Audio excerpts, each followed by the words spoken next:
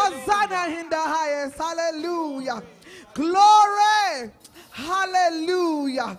Hallelujah. Hallelujah. Hallelujah. Hallelujah. Hallelujah. Hallelujah. Blessed be the rock of my salvation. Hallelujah. Hallelujah. Hallelujah. Hallelujah. Hallelujah. Hallelujah. Hallelujah. Hallelujah. Hallelujah. Hallelujah. Hosanna. Hosanna in the highest. Hallelujah. Hallelujah. Glory. Hallelujah. Hallelujah. Hallelujah. Hallelujah. Hallelujah. Glory. Hallelujah. Hallelujah. Hallelujah. This atmosphere, we call Sister Francine to come and read our night scripture. And it'll take it from St. Luke 22, 21, sorry. 21. It's going to be a short one anyway, from 25 on to 28. Hallelujah, glory.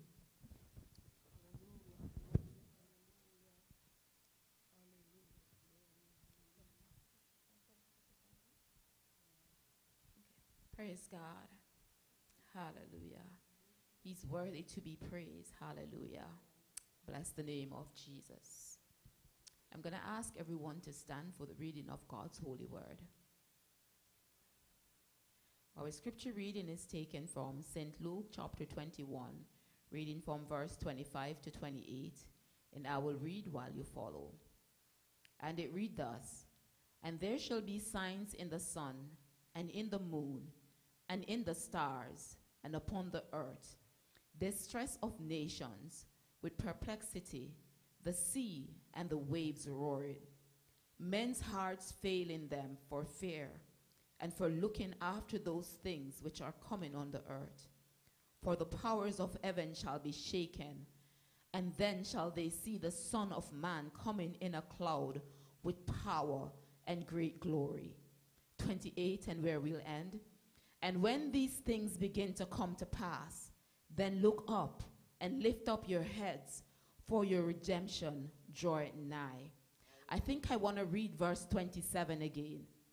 And then shall they see the Son of Man coming in a cloud with power and great glory. Amen. Here endeth the portions of God's holy word. We honor them by saying, Amen. Hallelujah.